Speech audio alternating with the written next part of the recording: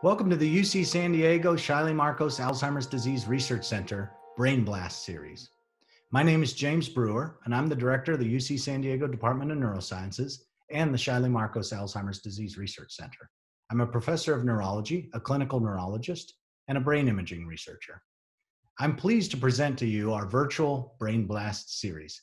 Each of the talks included in the series have been created by Shiley Marcos ADRC colleagues with expertise in brain aging research that focuses on prevention, detection, diagnosis, and treatment of Alzheimer's disease and related dementias. Each of the experts featured in the series studies a unique aspect of brain aging and has developed a brief overview of their current research to highlight the state of the art work that's going on here at UCSD and our center.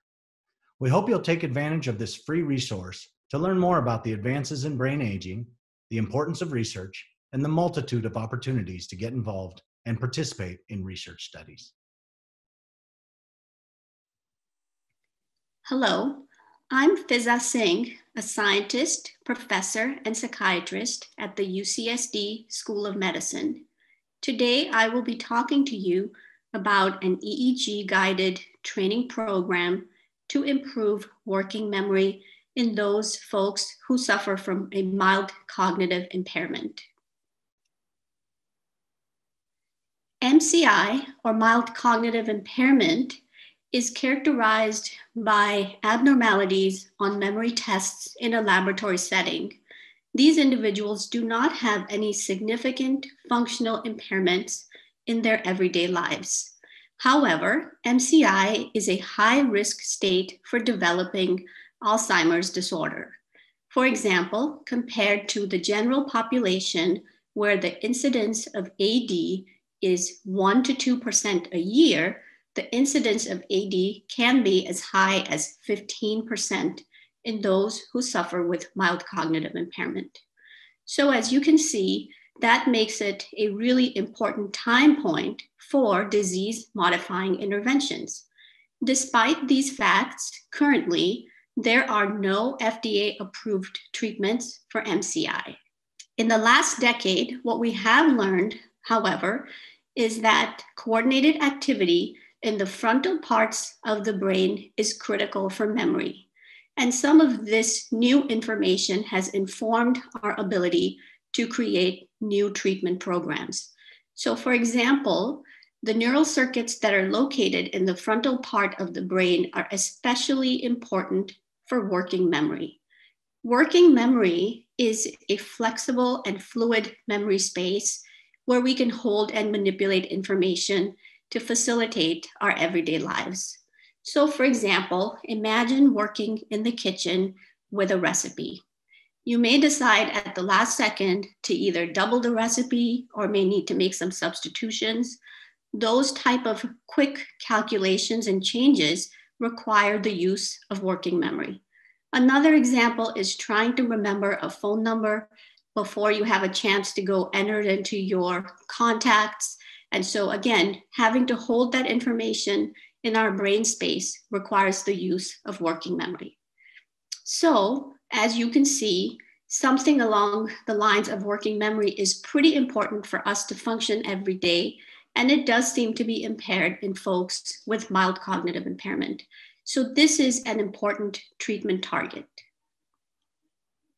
So EEG detects and records our brain's electrical signals from the scalp. Neurofeedback is a really interesting methodology that then takes that brain activity and makes it available as a visual metaphor that can be viewed on a computer screen. So, for example, we can link brain activity to the flying of a plane if the brain is doing what it should be doing and has been pre specified to do, then you will see that plane flying really well. On the other hand, if the plane stops flying, then it lets us know that the brain is no longer doing the activity it should be doing. And it's a reminder to change that brain activity. So, as you can see, in this way, neurofeedback teaches an individual to control his or her brain activity. This can be used to improve cognitive performance, regulate stress levels, emotional functioning, and behavior. This technique has been used successfully many times to improve depression, anxiety, and most notably, ADHD symptoms in children. So, in our current study, we're going to be using EEG to collect brain activity data from the scalp. It's going to be shown in the form of a visual metaphor or a game on a computer screen. And the subject is then going to modify that activity by using their own self regulatory controls. And this is a double blind, placebo controlled study. So there's an equal chance of being in the active or placebo group. Anyone who's 50 years or older and has mild cognitive impairment is eligible. And they will come in twice weekly for training for about 30 to 45 minutes. This will be over 12 weeks, and we will have follow up visits at the end of the study at one month and three months. Um, the study is being conducted at the UCSD Medical Center. Uh, it's on weekdays during business hours. We are able to reimburse parking fees, and transportation is provided for those who need it. There will be paper and pencil memory tests and computerized memory tests before, during, and after the treatment completion. In terms of what we expect to find, first of all, this is a unique study and really is the first study of its kind. This is the very first NIH funded study of gamma neurofeedback in individuals with mild cognitive impairment.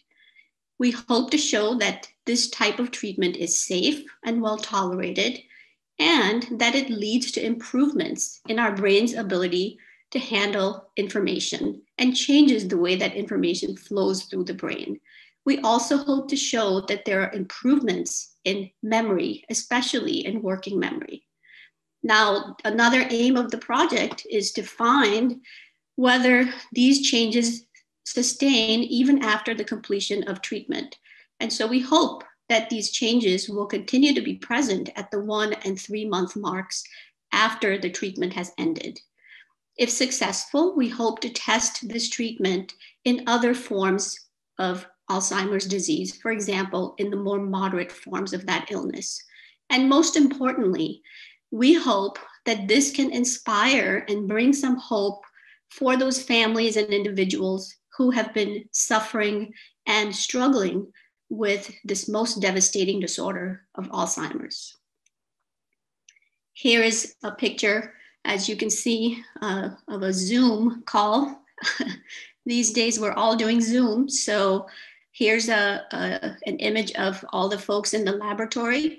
And um, we would love to have anyone who has uh, any mild cognitive impairments or memory deficits that they've noticed in themselves, if you know of a family member, if you have friends, anyone at all that you think might be struggling with uh, changes in their memory, please feel free to contact us. We always need volunteers for research, and you can either email us at this email address listed here or feel free to give us a call. Thank you so much for your attention. We hope you've enjoyed this presentation from our UC San Diego Shiley Marcos Alzheimer's Disease Research Center virtual Brain Blast series. Please look for other presentations in this series and share them with your communities. We hope that you'll also consider participating in brain research studies. We always have new opportunities for participation and are actively seeking individuals 65 and older without memory disorders, as well as those with a diagnosis of mild cognitive impairment or Alzheimer's disease and related dementias, such as frontotemporal dementia, Lewy body dementia, and Parkinson's dementia, as well as others. We're also proud to have a bilingual, bicultural team who conduct studies, visits in Spanish. Your participation can make a real difference for future generations. Please click on the description below to complete the very brief survey about the presentation you just viewed.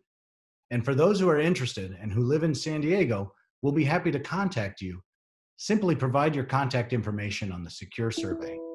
Thanks for watching, and we'll see you next time.